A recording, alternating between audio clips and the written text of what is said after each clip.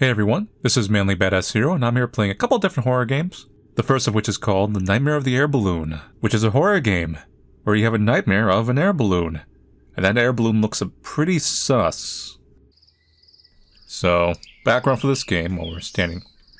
I'm gonna go backwards? No, I can't. Um, it's part of a Nightmare Game Jam. So, every game part of this game jam were, uh, it's supposed to feel like a nightmare. And this, as far as I'm concerned, this feels pretty nice to me. Nightmares are usually a lot darker and spookier. Hold shift to run? Where I'm running from?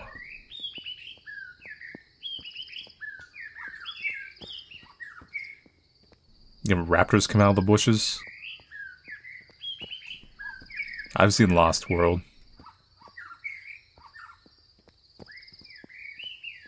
Maybe it's just to catch up to the balloon.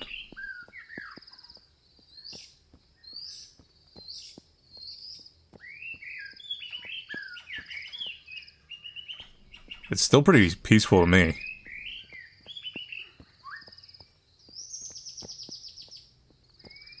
Like I, I don't I don't see how this is a nightmare.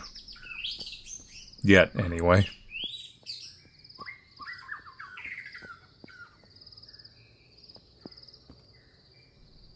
I see.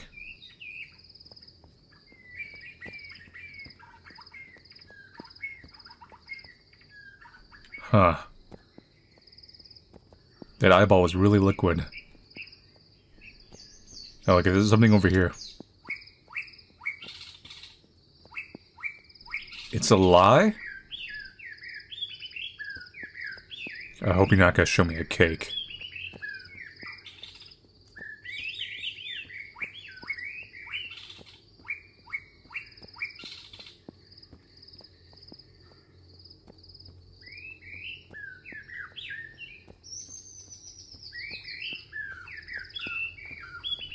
Well, except for that eyeball, I really haven't seen anything of note. Except from a hot air balloon. Sup?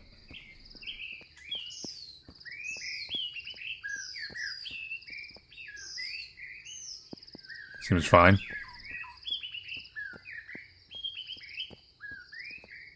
This hot air balloon is nothing but a PNG file.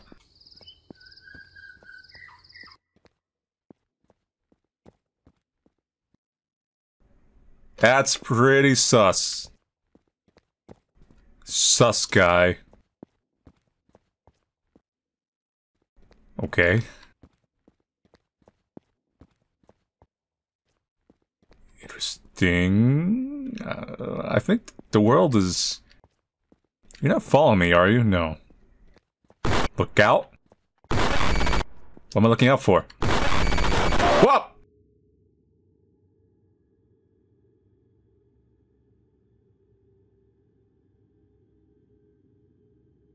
Where am I? Am I awake? God, I had a horrible dream. I saw some streamer's face on a balloon.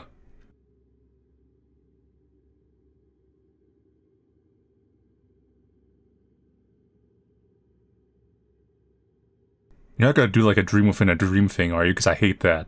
Because this looks like a dream right now, because it's got like a foggy look in the room. No, sus! okay. That was a game. That was a that was a game, or a nightmare, you would say. I mean, it wasn't terrible. Uh, I mean, the nightmare part, the spookiness. I'm not necessarily talking about the quality of the game. Um, because clearly the game's a bit of a shitpost. I think actually the scariest part is the the finale with the bed. Because that looked exactly like that looked that looked exactly like a nightmare dream with a fake wake up. Anyway, that's it for that game. On to the next one. So the second game we'll be playing is called Death Trips. Now, Death Trips is, I suppose it's a horror game. Um, it's been around for quite some time. I've never played it before. Uh, and I think it's just because I overlooked it back in the day, just because it had a very generic kind of name. And when you sort through like all these indie horror games, you kind of like try to avoid things with generic names because there's a lot of games out there. But yeah, I feel like decided to play it because I know this is fairly popular. There's like a nice beat going on there. October 31st, 2008, Inspector M. James is in a hunt for a serial killer called Lady Death. The last victim of this dreadful criminal was found in this cheap hotel, where Lady James is currently investigating. Unfortunately for the inspector, the murderer is still there. Sounds like a romance novel. Yes, I got too much anime on the brain.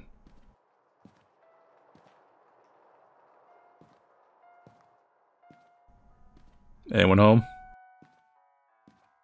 Very nice music. Do I take the elevator, or...? Yeah. Because I'm about to play like a Gmod map. You know what I mean.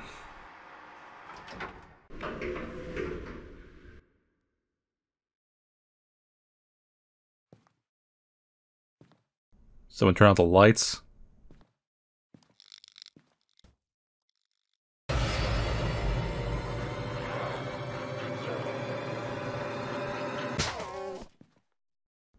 Def just drift. At least I think that was Def. This entire game was just one big pun.